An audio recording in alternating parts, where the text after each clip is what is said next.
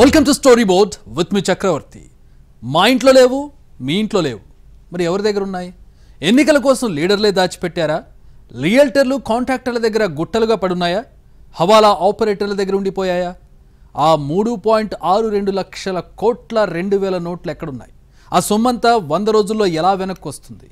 ఇదే అంశంపై ఈరోజు స్టోరీ బోర్డ్ చూద్దాం. రెండు వేల పదహారులో నోట్ల రద్దు అనగానే జనం గగ్గోలు పెట్టారు. కానీ ఇప్పుడు జనం తమకు సంబంధం లేనిదిగా భావిస్తున్నారు. కారణం సామాన్య జనం దగ్గర రెండు వేల నోటు ఒక్కటి లేదు.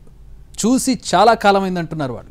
మరి రెండు వేల నోటు విషయంలో అసలు సమస్య ఎవరికి? మూడు లక్షల అరవై వేల కోట్ల నోట్లు వెనక్కి రావడం సాధ్యమేనా? దాచిపెట్టిన వాళ్ళు వెనక్కిచ్చే పరిస్థితి ఉందా? రెండు వేల రూపాయల నోట్లు ఎక్కడున్నాయి? వెనక్కి వస్తాయా? రెండు వేల నోటు రద్దుతో సమస్య ఎవరికి? మామూలు జనం రెండు వేల నోటు చూసి చాలా కాలమైంది. అసలు చూద్దామంటే ఒక్క నోటు లేదంటే కట్టలెక్కడుంటాయి అంటే సామాన్య జనం దగ్గర ఒక్క నోటు కూడా లేదు. ఏటీఎంలలో రావడం మానేసి చాలా ఏళ్ళైంది. యూపీఐ ట్రాన్సాక్షన్లకు జనం అలవాటు పడిపోయారు. క్యాష్ అవసరమైతే వంద ఐదు నోట్లు వాడుతున్నారు. రెండు వేల నోటు అప్పుడెప్పుడో రెండు వేల పదహారు తర్వాత కొద్ది రోజులు కనిపించి అలా మెరుపుతీగలా మాయమైపోయింది. రెండు వేల నోటు మార్కెట్లో చలామణిలో కనిపించడం లేదు అంటే అసలు లేదని కాదు. దేశంలో మూడు పాయింట్ ఆరు రెండు లక్షల కోట్ల విలువైన రెండు వేల నోట్లు మార్కెట్లో ఉన్నాయి. అవన్నీ జనం దగ్గరే ఉన్నాయి. కానీ బయటకు రావడం లేదు. ఎవరో దాచేశారు. ఎక్కడో దాచేశారు. దేనికోసమో దాచేశారు. ఇదే ఇప్పుడు బ్యాన్ అయింది. ఒకవేళ సామాన్య జనం దగ్గర ఐదు పది రెండు వేల నోట్లున్నా వాటిని మార్చుకోవడంలో ఎలాంటి కష్టం లేదు. వాళ్ళకు ఎంత ఆదాయం వస్తుంది? ఆస్తులెంత? అప్పులెన్ని ఉన్నాయి? ఇవన్నీ కూడా పద్ధతిగానే రికార్డ్ అయి ఉంటాయి. కాబట్టి పాన్ కార్డ్ ఆధార్ కార్డ్ లాంటి అనేక అనేక గుర్తింపు కార్డులతో కేవైసీలు పూర్తయి ఉంటాయి కాబట్టి వాళ్ళంతా నోట్లు మార్చుకోవడంలో పెద్ద కష్టం లేదు. బ్యాంకు దగ్గరకు ఒకటి రెండు సార్లు వెళ్ళాలనుకునేదొక్కటే కాస్త చిరాకు పెట్టే విషయం. రెండు వేల రూపాయల నోట్ అనేది గరిష్ట నోటు. ఇది కేవలం ధనికుల దగ్గరే ఉంటుంది కాబట్టి బ్లాక్ మనీని కంట్రోల్ చేయడంలో ఈ రెండు వేల రూపాయల నోట్ అనేది చాలా క్రూషియల్గా ఉంటుంది. సో ఇలాంటి మంచి పరిణామాన్ని అందరూ స్వాగతించాలి. ప్రజలు ఇబ్బంది పడిన మాట వాస్తవమే కానీ ఈ రెండు వేల రూపాయల నోట్లని ఎవరైతే ఎక్కువగా పోగు చేసుకున్నారో వాళ్ళకి మాత్రమే ఇబ్బంది కాబట్టి సాధారణ ప్రజల్ని తొంభై శాతం ప్రజలు సాధారణ ప్రజలే ఉంటారు కాబట్టి ఆ పది పది మందే ఇబ్బంది పది శాతం ప్రజలే ఇబ్బంది పడతారు కాబట్టి దీన్ని హండ్రెడ్ పర్సెంట్ అందరూ స్వాగతించి గతంలోనే అంతా రెండు వేల రూపాయల నోట్లు చాలా మంది మార్పులు చేర్పులు కూడా జరిపోయినాయని నేను భావిస్తున్నాను. ఇప్పటికైతే సామాన్య మానవుకంటూ ఏమి ఒరిగిందంటూ నాకు తెలిసి ఏం లేదు. సంవత్సరం ముందు చూశాను ఇంత ముందు ఈ మధ్యలో ఎప్పుడు చూడలేదు రెండు వేల రూపాయల నోటు. ఇప్పుడు కొత్తగా దాన్ని తీసుకొని వచ్చి ఏం చేస్తున్నారు కూడా అర్థం కావడం లేదు. చాలా మంది దగ్గర రెండు వేల రూపాయల నోట్లు కనిపించింది కూడా లేదు. నేను కాబట్టి దీనివల్ల సామాన్యులకంటూ నాకు తెలిసి ఏమి ఏదో ఒక రోజు ఈ రెండు వేల నోట్లు రద్దు అవుతుందని సామాన్య ప్రజల వరకు పోయింది. ఈ రోజు అది జరిగినందుకు ఆనందపడుతున్నారు. దానివల్ల సామాన్య ప్రజలకైతే మాత్రం ఎటువంటి ఇబ్బంది లేదు. ట్రాన్సాక్షన్ స్వేర్గా పద్ధతిగా ఇప్పుడు ఆన్లైన్ ట్రాన్సాక్షన్ ప్రతి ఒక్కరు ఆటోలో కూడా స్వైపింగ్ ఫోన్పే పేటిఎం అని చెప్పి వాడుతున్నారు. సామాన్య ప్రజలు చాలా క్లారిటీగా ఉన్నారు. వాళ్ళకి ఎటువంటి ఇబ్బంది లేదు. ఎవరో కొంతమంది ఇబ్బంది పడే వాళ్ళంతా కూడా తప్పుడు ప్రచారం తీసుకుపోతున్నారు. సరే వాళ్ళకు రాజకీయంగా వాళ్ళ ఆలోచనలు వాళ్ళకు ఉంటాయి కానీ సామాన్య ప్రజలకైతే ఎటువంటి ఇబ్బంది లేదు. కానీ అసలు విషయం ఇప్పుడు ఆ రెండు వేల నోట్లు ఎక్కడున్నాయి అనే మాట. నోటు రద్దు ఎఫెక్ట్ ఎవరిపై ఉంటుంది అని దేశంలో నూటికి తొంభై మంది సామాన్యులే. అంటే నెల జీతంపై ఆధారపడి బతికే వాళ్ళ నుండి రోజువారీ వేతనం తీసుకునే కార్మికుల వరకు వీళ్ళెవ్వరి దగ్గర భారీ ఎత్తున రెండు వేల నోట్లు పోగే ఉండే ఛాన్స్ లేదు. ఐదు పది ఉన్నా చిక్కులేదు ఇప్పుడు ఎవరి దగ్గర రెండు వేల కట్టలున్నాయో వాళ్ళకే అసలు సమస్య అంతా. వాళ్ళంతా చట్ట ప్రకారం సంపాదించి దాచుకున్న సొమ్మైతే ఏ గొడవ లేదు. తగిన ఆధారాలు చూపిస్తే సరిపోతుంది. కానీ లెక్కకు రాని సొమ్మై ఉంటే మాత్రం వాటిని చిత్తు కాగితాల్లో కలుపుకోవడం తప్ప చేయగలిగింది ఏమీ ఉండదు. ఇప్పుడు ఆర్బీఐ మార్కెట్లో చలామణిలో ఉన్న రెండు వేల నోట్లను వెనక్కి తీసుకోవాలని నిర్ణయించింది. వినియోగదారులకు రెండు వేల నోట్లు ఇవ్వొద్దని బ్యాంకులకు ఆదేశాలు జారీ చేసింది. ఈ ఆదేశాలు శుక్రవారం నాడు వెంటనే అమల్లోకి వస్తాయని తెలిపింది. అయితే ఈ నోట్లను ఇప్పటికిప్పుడు పూర్తిగా రద్దు చేయడం లేదని ఇప్పటికీ లావాదేవీలకు ఈ నోట్లను వినియోగించుకోవచ్చని స్పష్టం చేసింది. సెప్టెంబర్ ముప్పై వరకు రెండు వేల నోటు చెల్లుతుంది. సో ఎవరి దగ్గరైనా రెండు వేల నోట్లుంటే మే ఇరవై మూడు నుంచి సెప్టెంబర్ ముప్పైలోగా బ్యాంకులు ఆర్బీఐ కార్యాలయాల్లో మార్చుకునే అవకాశమిచ్చింది ఆర్బీఐ. దీనికోసం కొన్ని నియమ నిబంధనలు కూడా ప్రకటించింది. ఇవన్నీ స్పష్టంగానే ఉన్నాయి. ఒక విడతలో పదివేల నోట్లు మార్చుకోవచ్చని తెలిపింది. డిపాజిట్ చేయడానికి మాత్రం ఎలాంటి నిబంధనలు లేవు. కానీ ఇక్కడే అసలు సమస్య ఉంది. డిపాజిట్ చేయడానికి నిబంధనలు లేకున్నా పెద్ద మొత్తంలో నోట్లు కట్టలు తెచ్చి ఎవరైనా డిపాజిట్ చేయబోతే ఎవరు చేశారు? వాళ్ళకా సొమ్ము ఎక్కడి నుంచొచ్చింది ఇలాంటి వివరాలన్నీ చెప్పాల్సిన పరిస్థితి వస్తుంది. రెండు వేల నోటు రద్దులో ఇబ్బంది పడేది ఇలాంటి వాళ్ళే. రెండు వేల పదహారు నవంబర్లో వెయ్యి ఐదు వందల నోట్ల రద్దు కారణంగా నగదు కొరత రాకుండా వీలైనంత త్వరగా క్యాష్ మార్కెట్లోకి రావడం కోసం రెండు వేల నోటు తెచ్చామని ఆర్బీఐ చెప్పింది. అయితే ఈ నోటు ప్రింటింగ్ రెండు వేల పద్దెనిమిది పంతొమ్మిదిలోనే నిలిపివేసింది. రెండు వేల పదిహేడు మార్చి నాటికి చలామణిలో ఉన్న నగదు మొత్తంలో రెండు వేల నోట్ల వాటా ఎనభై తొమ్మిది శాతంగా ఉంది. రెండు వేల పద్దెనిమిది మార్చి ముప్పై ఒకటి నాటికి ఆరు పాయింట్ ఏడు మూడు లక్షల కోట్ల విలువైన నోట్లు చలామణిలో ఉన్నాయి. రెండు వేల ఇరవై మూడు మార్చి నాటికి ఆ విలువ మూడు పాయింట్ ఆరు రెండు లక్షల కోట్లకు తగ్గింది. అంటే చలామణిలో ఉన్న మొత్తం నగదులో రెండు వేల నోట్ల వాటా పది పాయింట్ ఎనిమిది శాతానికి చేరుకుంది. మొత్తం కరెన్సీలో పది శాతం పైగా ఉన్న రెండు వేల నోట్లు అడ్రస్సే లేవు. అవన్నీ ఎవరి దగ్గరున్నాయి? ఎక్కడున్నాయి? ఇవన్నీ ఇప్పుడు తేలబోతున్న అంశాలు.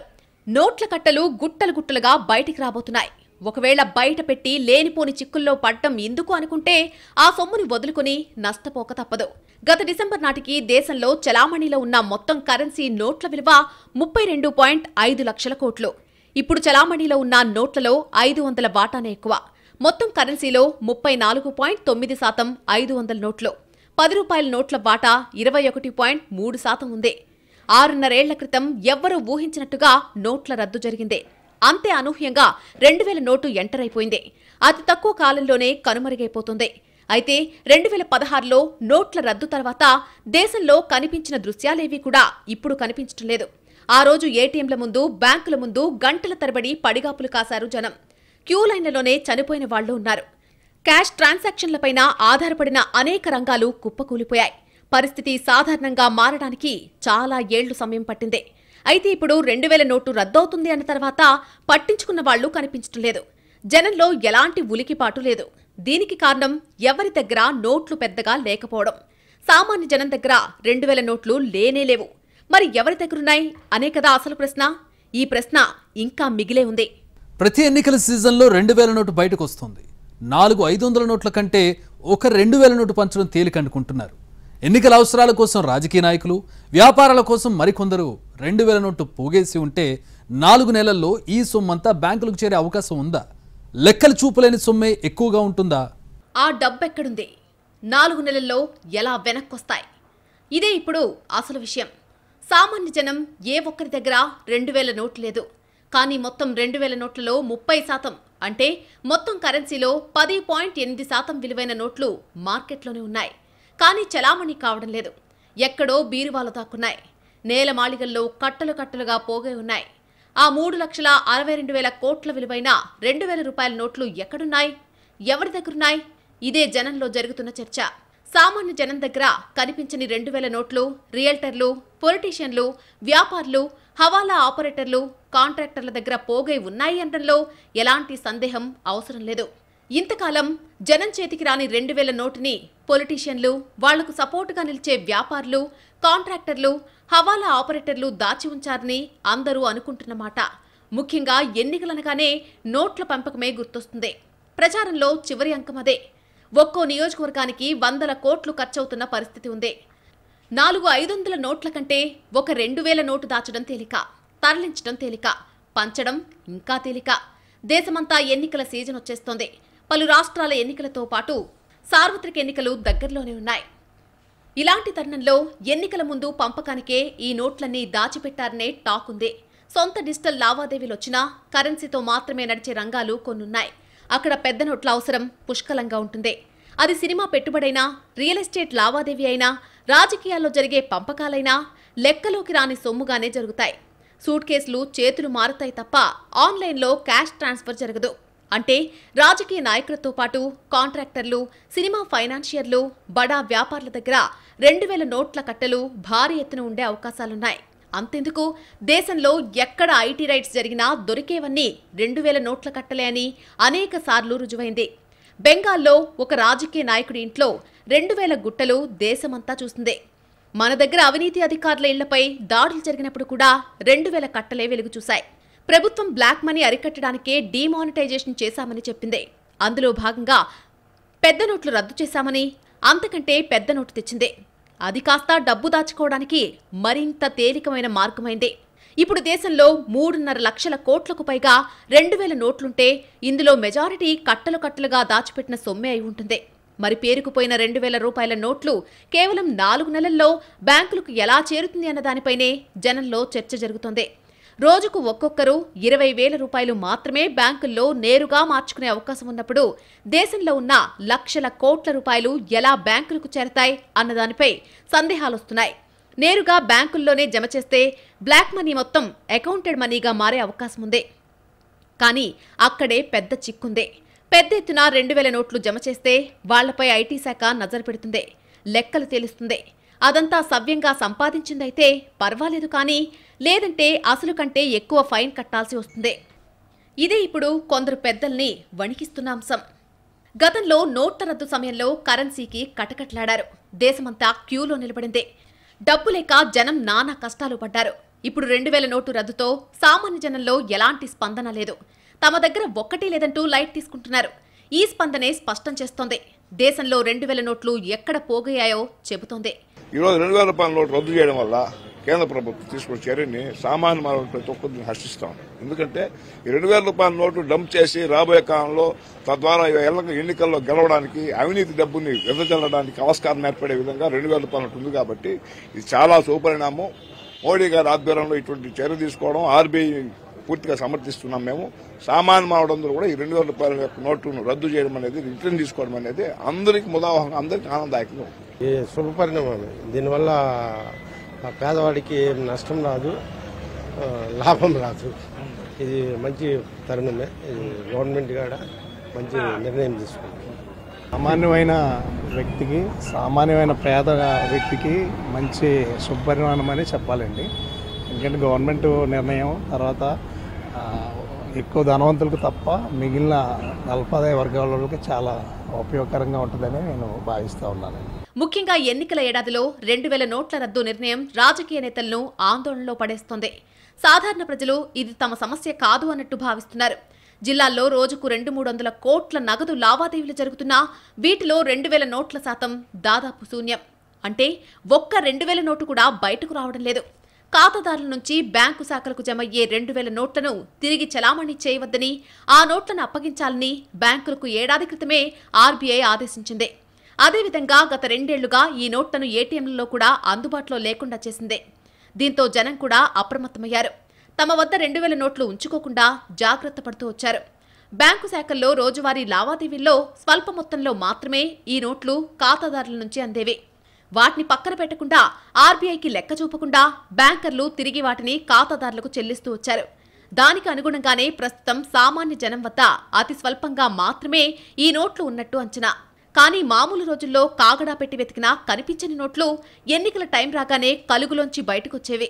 ఆ వారం పది రోజులు విచ్చలవిడిగా రెండు వేల నోటు ఎక్కడ పడితే అక్కడ కనిపించేది. జనం చేతిలోకి అప్పుడొచ్చిన రెండు వేల నోటు మళ్ళీ వెంటనే కలుగుల్లో సర్దుకునేవి. దేశమంతా ఎన్నికలు జరిగిన రాష్ట్రాల్లో ఉప ఎన్నికలు జరిగిన నియోజకవర్గాల్లో కనిపించే పరిస్థితి ఇదే. దీన్ని బట్టి ఆ నోట్ల కట్టలు ఎవరి దగ్గర ఉన్నాయో చెప్పడం కష్టం కాదు. ఇప్పుడు వాళ్ళందరూ ఏం చేస్తారు అనేది ప్రశ్న. ఆ నోట్లన్నీ కేవలం నాలుగు నెలల అతి తక్కువ సమయంలో ఎలా బయటకొస్తాయనేది ఇప్పుడు నడుస్తున్న చర్చ. ఎన్నికల సీజన్ వచ్చేసింది. పలు రాష్ట్రాల అసెంబ్లీ ఎన్నికలు ఆ తర్వాత సార్వత్రిక ఎన్నికలు రాబోతున్నాయి. వేల కోట్ల రూపాయలు చేతులు మారే సమయం ఇది. ఇలాంటి టైంలో ప్రత్యర్థి పార్టీలు దెబ్బ కొట్టడానికి నిర్ణయం తీసుకున్నారా? లేక డిమానిటైజేషన్ వైఫల్యాన్ని కప్పిపుచ్చుకోవడానికి వేసిన అడుగా? రెండు వేల నోట్ని ఆర్బీఐ ఎందుకు వెనక్కి తీసుకుంటోంది? గత కొంతకాలంగా ఎక్కడ ఎన్నికలు జరిగినా రెండు వేల నోటు బయటకొచ్చేది. అంతెందుకు? గత మూడు నాలుగేళ్ళలో జరిగిన ప్రతి ఎన్నికల సందర్భంలో కనిపించిన దృశ్యం ఇదే. సార్వత్రిక అసెంబ్లీ ఎన్నికలతో మొదలుపెట్టి ఉప ఎన్నికలు స్థానిక సంస్థలు ఎమ్మెల్సీ ఎన్నికల వరకు ఇదే పరిస్థితి. మొన్నటి కర్ణాటక ఎన్నికల్లో కూడా ఇదే రెండు వేలు కీలక పాత్ర పోషించిందనే వాదనలున్నాయి. రానున్న ఎన్నికల్లోనూ రెండు వేల నోట్లే కీలక పాత్ర పోషిస్తాయని అనుకుంటున్న సమయం ఇదే. కానీ అనూహ్యంగా ఇప్పుడు రద్దయిపోయాయి. దీంతో ఇప్పటికే ఎన్నికల అవసరాల కోసం పెద్ద ఎత్తున నోట్ల కట్టలు నిల్వ చేసుకున్న నేతలు తీవ్రంగా ఆందోళన పడుతున్నట్టు సమాచారం. రెండు వేల నోట్లపై ఆర్బీఐ తీసుకున్న ఈ నిర్ణయం పొలిటికల్ పార్టీలను షాక్కు గురిచేస్తుందనే చెప్పాలి. ఐదారు నెలల్లో పలు రాష్ట్రాల అసెంబ్లీ ఎన్నికలు వచ్చేడాది మొదట్లో సార్వత్రిక ఎన్నికలు ఉంటాయి. ఆ సమయంలో ప్రచారానికి ఓటర్లకు పంపిణీ చేయడానికి వేల కోట్ల అవసరమవుతాయి. ఆ సొమ్మంతా రెండు వేల నోట్ల రూపంలోనే ఉంటుంది. అలా పోగేసుకున్న వాళ్ళకు ఇప్పుడు మార్చుకోవడం అంత తేలికైన విషయం కాదు. అదే రకంగా మనకి రెండు ఎన్నికల్ని మొన్ననే కర్ణాటక రాష్ట్రంలో జరిగినటువంటి ఎన్నికల్లో మూడు వందల యాభై కోట్ల రూపాయల నగదుని ఎన్నికల సంఘం పట్టుకున్నది. అందులో రెండు వేల రూపాయల నోట్లే ప్రధానమైనటువంటిది. అదే రకంగా మనకి తెలంగాణలో మునుగోడలో ఎన్నికలు జరిగినప్పుడు ఆరు వందల కోట్ల రూపాయలు ఖర్చు పెట్టినారనేటటువంటిది గుడ్ గవర్నెన్స్ అనేటటువంటి ఒక సంస్థ ఆరోపణ చేసింది. అంచేది ఎక్కడెక్కడైతే ఎన్నికలు జరుగుతున్నాయో ఆ ఎన్నికల్ని ప్రభావితం చేసేటట్టుగా రెండు వేల రూపాయల నోటు ఉంది అని ఉంది అనేటటువంటి నిర్వివాదాంశం. ఇవాళ రిజర్వ్ బ్యాంక్ ఆఫ్ ఇండియా కనుక ఎన్నికల ప్రక్రియని ఇన్ఫ్లుయెన్స్ చేసేటటువంటి రెండు వేల రూపాయల నోట్ని విత్డ్రా చేస్తున్నామని చెప్తే ఎంతో బాగుండేది. దానికి భిన్నంగా ఇది ఏదేదో కరే క్లీన్ నోట్ పాలసీ అని ఐదు సంవత్సరాల కంటే దీనికి లైఫ్ ఉండదు అనేటటువంటి ఇవన్నీ మాటలు చెప్పడం అనేది సామాన్య ప్రజలకి రెండు వేల రూపాయల నోటు వల్ల ఒరిగేది లేదు. రెండు వేల రూపాయల నోటు రద్దు చేసినంత మాత్రాన వచ్చేటటువంటి నష్టం కూడా లేదు. బట్ ఇవన్నీ కూడా రాజకీయపరమైనటువంటి కారణాలతో చేసినటువంటి ప్రక్రియగా కనిపిస్తోంది. ఆర్బీఐ నిర్ణయంతో ఇప్పుడు ఎక్కడెక్కడో మూలుగుతున్న రెండు వేల నోట్లు బయటకొస్తాయి. రాష్ట్రంలోని వ్యాపారులు బ్యాంకు సిబ్బందే ఇప్పుడు పార్టీల నేతలకు ప్రధాన మార్పిడి కేంద్రాలుగా మారతారనే టాకుందే. బినామీ లావాదేవీల పేరుతో బ్యాంకులకు చేరే అవకాశాలు కనిపిస్తున్నాయి. ఎన్నికల సమయానికి ఈ సొమ్మంతా ఐదొందలుగా మార్చడం రాజకీయ పార్టీలకు పెద్ద తలనొప్పి వ్యవహారమే.